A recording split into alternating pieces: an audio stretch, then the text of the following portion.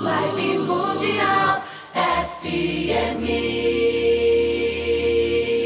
Hoje eu vim com uma proposta. A minha primeira proposta hoje é falar sobre vícios. E por que, que eu decidi falar sobre vícios? Ontem eu atendi uma pessoa muito especial, Glória Maribel, glória para todos nós, né? Ontem eu atendi uma pessoa, né? que me deu uh, o quê? Takeda, uh, que tem Alzheimer, e desapeço por João Kenji.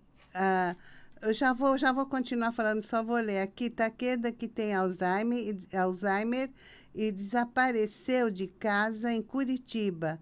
Manda energia para ele ser encontrado, Armin. Obrigada. Então, eu não sei quem foi. Ah, foi a Ju que mandou. Então, Ju, eh, já aconteceram vários casos, antes de eu começar a falar o que eu, né? Eu estava, o, a minha proposta do assunto, do vício, eh, o que eu quero mandar de recado para essa pessoa que tem Alzheimer e desapareceu lá em Curitiba. Eu já tive outros casos semelhantes com esse. Teve um caso, inclusive, de uma menina, né, de uma moça, que ela fugiu porque ela foi mal na escola. Na época eu atendi o pai dela.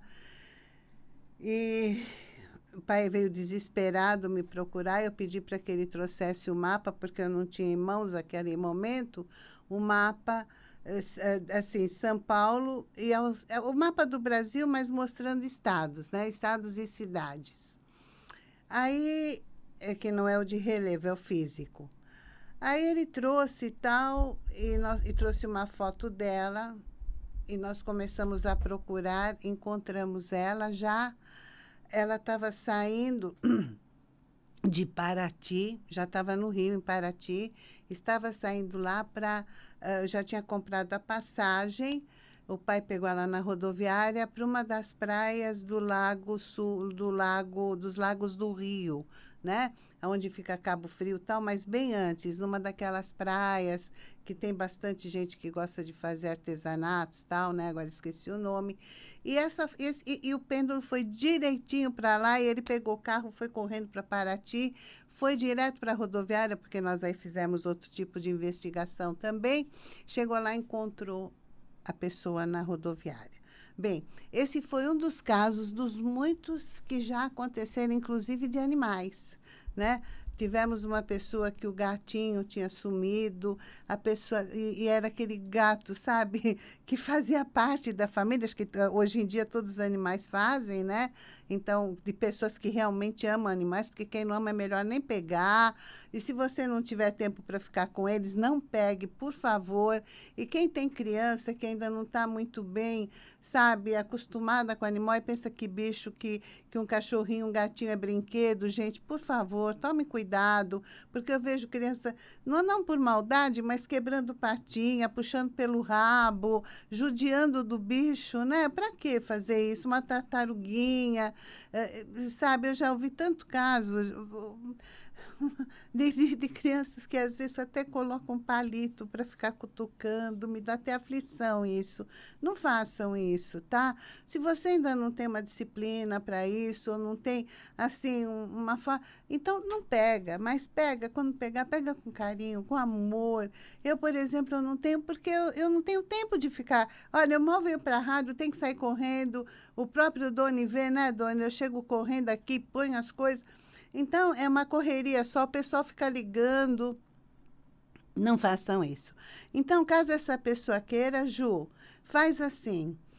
Uh, é, é, pede para entrar em contato comigo, ou você entra mais tarde e a gente vê pelo mapa, por algum lugar, aonde essa... Mas eu preciso ter dados. Agora, eu posso... Né? Então, não adianta eu mandar energia, posso mandar, mas vai para onde? Fica meio perdido, não é assim? Nós, ah, tudo é uma, é, uma, é, uma, é, uma, é uma relação quântica, né? Uma vibração molecular. Então, as moléculas se perdem porque não sabe para onde vou, qual é o destino. Então, sempre a gente precisa dar assim, umas informações mais precisas e, e, de preferência, conversar com alguém que é da família, né? Bom, então, bom dia novamente para todos. E o assunto que eu quero passar para vocês, tá? É muito interessante hoje. É sobre vícios. Como eu disse ontem, atendi uma pessoa e eu olhei para ela, ela exalava cheiro de cigarro pelo corpo. E eu perguntei, eu falei assim, você fuma? Ela falou, fumo. Mas não é aquele cheiro de cigarro de quem acabou de fumar, é um outro cheiro, né? Eu falo que é cheiro de maço de cigarro.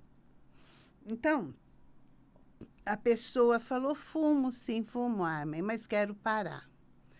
E quando eu fui fazer, estava fazendo a radiestesia para ela, junto com a frequência biomolecular, que, olha, gente, é algo fantástico.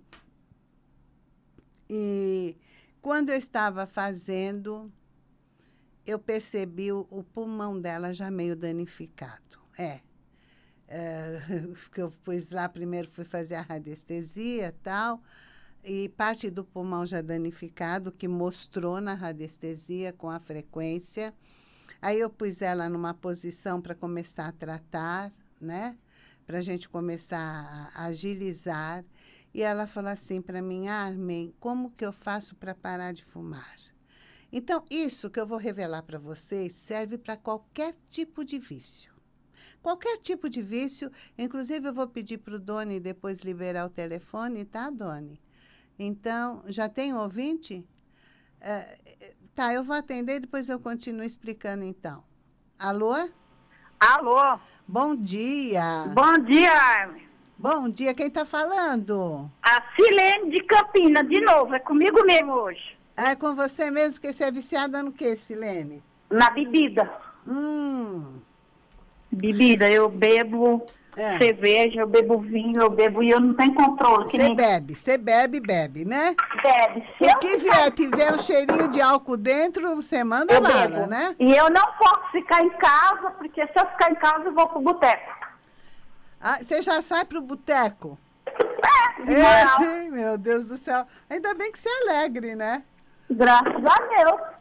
Então. Aí eu, te, eu tenho que trabalhar para mim não ir pro boteco. Tá, então você precisa trabalhar até a hora de dormir. A hora que você dormir, você apaga e não vai pro boteco. Isso se é, se você consegue dormir sem tomar uma, né? Não, eu sou muito boa para dormir. Não, durante a semana eu não tomo. Então é tá bom, vamos lá. O que que acontece? Eu vou explicar para você e vou explicar para todos os ouvintes que estão, meu, estão aí, tá bom, Silene? Tá, eu posso você ouve, você ouve no ar? Ô, oh, Tá bom, Meu... então, então vamos lá. Um beijo, Silene, vamos lá, Bri gente. Obrigada. Um beijo. Pessoal, é assim, eu ontem conversando com essa pessoa, e eu já tratei outras pessoas dessa forma e deu retorno. Não vou dizer que foi 100% de retorno, mas posso dizer para vocês que foi uns 98% foram. Uh, e essa pessoa que veio ontem, ela não só fumava, como bebiam também. Mas não é beber de alcoolismo, não. Era, sabe aquelas coisas? Hoje vamos ter churrasquinho, vai rolar cerveja à vontade. Então, vamos que vamos, né?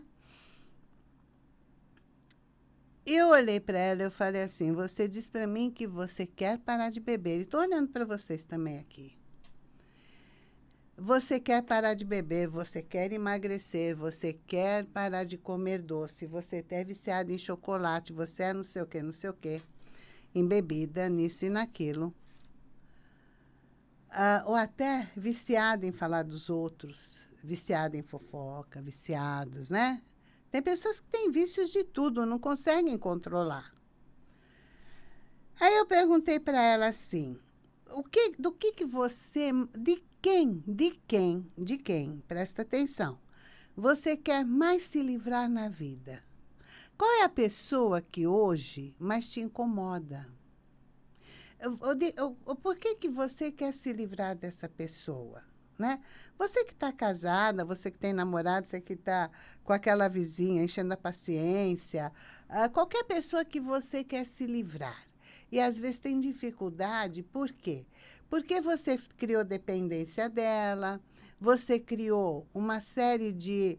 Eh, né? Você fala assim, ah, o que, que eu vou fazer sem essa pessoa, sem essa situação?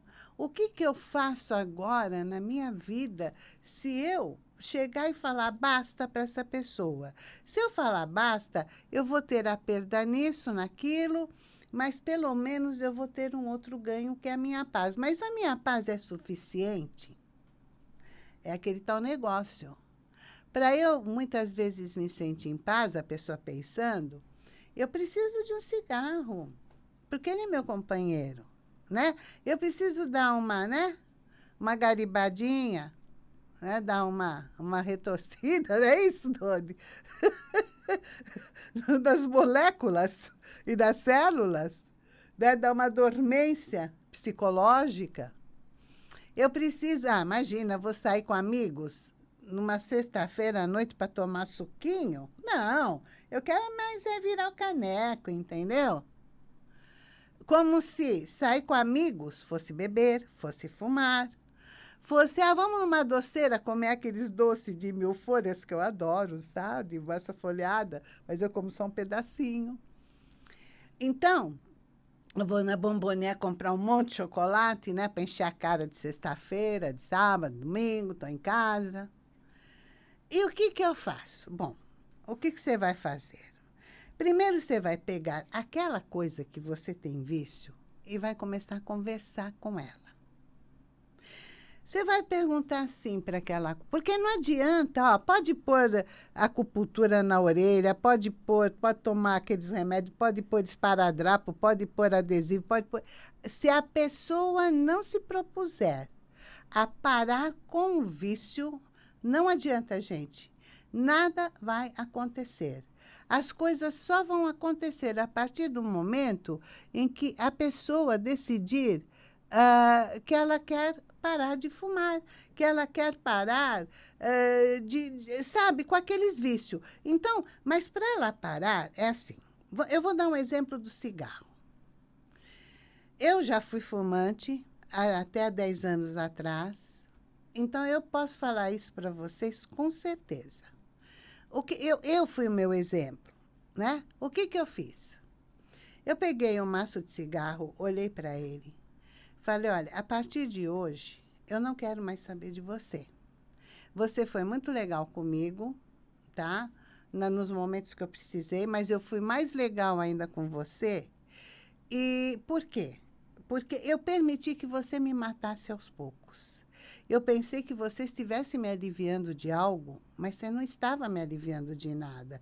Você estava matando as informações dentro de mim e me deformando cada vez mais. Mas mesmo assim, você foi meu companheiro.